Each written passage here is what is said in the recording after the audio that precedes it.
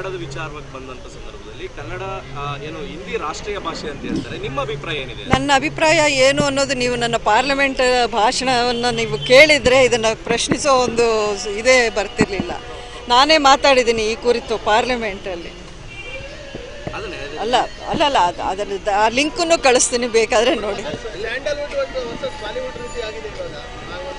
ಏನು ಆ ರೀತಿ ಏನಾಗಿಲ್ಲಪ್ಪ ನೀವು ಅಷ್ಟೊಂದು ದೊಡ್ಡದಾಗಿ ನೀವು ಕೇಳೋ ಅಷ್ಟು ವಿಷಯನೂ ಇದಲ್ಲ ಅಂತ ನಾನು ಅಂದ್ಕೊಂಡಿದ್ದೀನಿ ಅವರಿಬ್ಬರ ಮಧ್ಯೆ ಒಂದು ಟ್ವೀಟ್ಸ್ ಏನೋ ನಡೆದಿದೆ ಅದನ್ನು ಅವರೇ ಆಮೇಲೆ ಎಕ್ಸ್ಪ್ಲನೇಷನ್ ಕೊಟ್ಕೊಂಡಿದ್ದಾರೆ.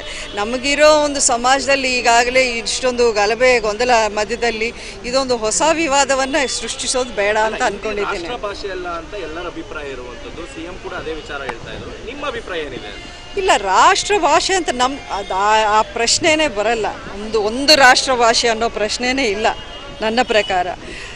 ಒಬ್ಬರಿಗೆ ನಾರ್ತ್ ಇಂಡಿಯಾದಲ್ಲಿ ಹಿಂದಿಗೆ ಪ್ರಾಮುಖ್ಯತೆ ಇರ್ಬೋದು. ನಮ್ಮ ರಾಜ್ಯದಲ್ಲಿ, ನಮ್ಮ ಭಾಷೆಗೆ, ನಮ್ಮ ಸ್ವಾಭಿಮಾನಕ್ಕೆ ನಾವು ಯಾವತ್ತೂ ಧಕ್ಕೆ ಆಗುವಂಥ ಒಂದು ವಿಚಾರಕ್ಕೆ ಯಾರೂ ಸುಮ್ಮನೆ ಇರಲ್ಲ. ಎಲ್ರಿಗೂ ಆ ಒಂದು ಹೆಮ್ಮೆ, ಆ ಒಂದು ಸ್ವಾಭಿಮಾನ ಅನ್ನೋದು ಇದ್ದೇ ಇರುತ್ತಲ್ವ? ಕನ್ನಡಕ್ಕೆ ಒಂದು ಧ್ವಜ ಅಂತ ಇದೆ, ಕನ್ನಡಕ್ಕೆ ಒಂದು ಕ್ಲಾಸಿಕಲ್ ಲ್ಯಾಂಗ್ವೇಜ್ ಅನ್ನೋ ಅಂಥ ಒಂದು ಸ್ಟೇಟಸ್ಸೂ ಇದೆ.